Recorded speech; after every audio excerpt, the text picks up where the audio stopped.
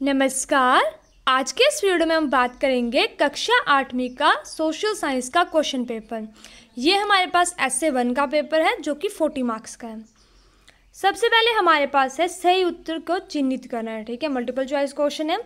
भारतीय राष्ट्रीय अभिलेखकार की स्थापना कब हुई थी? तो ये हुई थी 1920 में, ठीक है? उसके बाद है 1957 में प्लासी के युद्ध में ईस्ट इंडिया कंपनी का नेतृत्व किसने किया था? Robot Clive. बिरसा का जन्म किस समुदाय से हुआ था? तो बिरसा मुंडा के बारे में हम पढ़ते थे, वो मुंडा समुदाय से थे, ठीक है? उसके बाद है रियात किन्हें कहा जाता है? रियात जो है, वो कौन होते हैं? तो वो किसान होते हैं, ठीक है? पीजेंट्स को रियात बोलते हैं। निम्नलिखित में ऐसे कौन संसाधन को निर्धारित नहीं करता? उसकी मात्रा, ठीक है? क्वांटिटी तीव्र ढालों पर मृदा प्रदन को रोकने के लिए सर्वाधिक उपयुक्त है, क्या है? वैदिक कृषि ठीक है? टेरेस कल्टीवेशन बोलते हैं जिसको। उसके बाद बात करते हैं हम इनमें से कौन सा अनवनीकरण संसाधन नहीं है? तो वो हमारे वन फॉरेट्स ठीक है? भारतीय संविधान का जनक किसे कहा जाता है? तो किसे कहा जाता है? बी आर अंबेडकर को। लोकसभा में सदस्यों की संख्या वर्तमान में कितनी है? तो हमारे पास है फाइव फोर्टी थ्री भारत का जो हमारा सुप्रीम कोर्ट है, सर्वोच्च न्यायालय, वो कहाँ पर है? दिल्ली में है। ठीक है? तो यही वही सारे क्वेश्चन जो वो इंग्लिश में दिए हुए हैं। हिंदी और इंग्लिश दोनों में आ रहा है हमारा पेपर ठीक है? फिर आता है हमारे पास सिक्स स्थानों की पूर्ति करनी है, जो हैदर अली थे और टीपू सुल्तान। टीपू सुल्तान के बेटे थे हैदर अली, ठीक है? वो कहाँ के शासक थे? मैसूर के शासक थे, ठीक है? चंपारण आंदोलन डैश के खिलाफ था। तो चंपारण आंदोलन जो है वो किसके खिलाफ था? तीन काठिया प्रणाली। इसमें अंग्रेज़ों ने बोला था कि जो आपकी भूमि है, उसके तीन हिस्से में आप जो नील की खेती करेंगे। तो इससे किसान काफ़ी नाराज़ थे। तो चंपारण आंदोलन किसके खिलाफ था? तीन काठिया प्रणाली के। अंग्रेज़ों ने आदिवासियों को डैश के रूप में वर्णित किया। जंगली और असभ्य बोले उन्होंने आदिवासियों को, ठीक है? भारत का संविधान कब लागू हुआ छब्बीस जनवरी नाइनटीन फिफ्टी को। भारतीय संविधान के डैश सदस्य हैं। तो भारतीय संविधान के सदस्य कौन है? सॉरी, यहाँ पे लिखा हुआ है, भारतीय जो भारतीय संसद है, उसके कितने सदन है? तो दो सदन होते हैं हमारे पास, ठीक है? लोकसभा और राज्यसभा।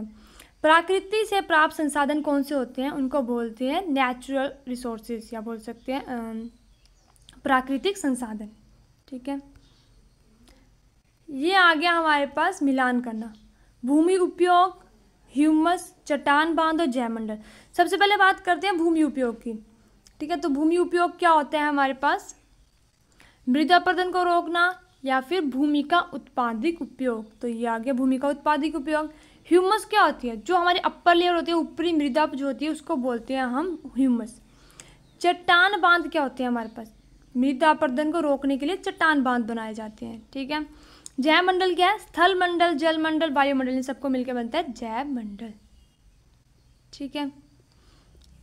उसके बाद आ जाते हैं हमारे क्वेश्चंस ठीक है? जेम्स मिल भारतीय संविधान को कितने खंडों में बांटा? झूम खेती क्या होती है? धर्म निक्षेपता क्या होती है? और सरकार के तीन मुख्य अंग कौन से हैं? तो जेम्स मिल इतिहास को तीन खाल खंडों में बांटा है कौन कौन से? हिंदू, मुस्लिम और ब्रिटिश। झूम खेती के बीज बोने के तरीके किस नाम से जाने अलग अलग नामों से जाना जाता है उनको ठीक है? सरकार के तीन अंग कौन कौन से हैं हमारे पास? तो वो आ जाते हैं हमारे पास एक आ जाते हैं विधान पालिका कार्यपालिका और न्यायपालिका।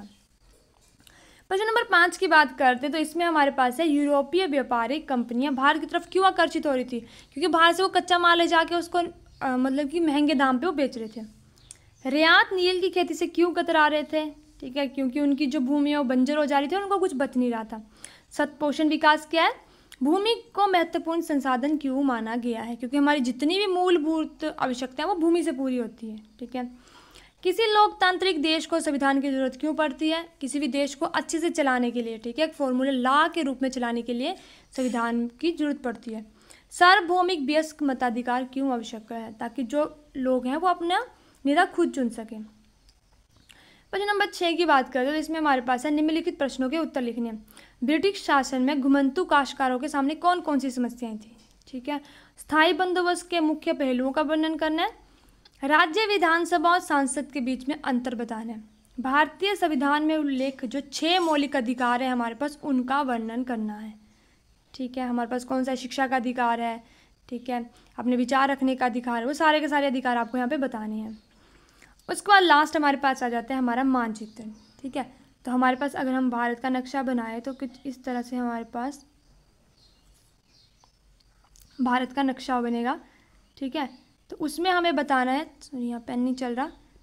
तो उसमें हमें क्या क्या बताने को बोला हुआ है? यहाँ पे हमें बता हुआ है लद्दाख, दिल्ली, हिंद महासागर और पश्चिम बंगाल। लद्दाख हमारे देश में आ जाएगा सबसे ऊपर। हमारे देश में सबसे ऊपर लद्दाख आ जाएगा, फिर उसके बाद आता है दिल्ली हिंद महासागर आ जाता है, जो हमारे देश के यहाँ पे हिंद महासागर आ जाता है और पश्चिम बंगाल आ जाता है यहाँ पे, ठीक है? तो यहाँ पे मैंने पूरा नहीं बताया, देश का नक्शा, पर इतना आपको समझ में आ गया, ठीक है? तो यहाँ पे बस दो नंबर का जो है मानचित्र दिया हुआ है। इसी के साथ वीडियो कंप्लीट होती है। आई होप आपको वीडियो अच्छी लगी हो। वीडियो अच्छी लगी, वीडियो को लाइक करें, चैनल को सब्सक्राइब करें। Thank you.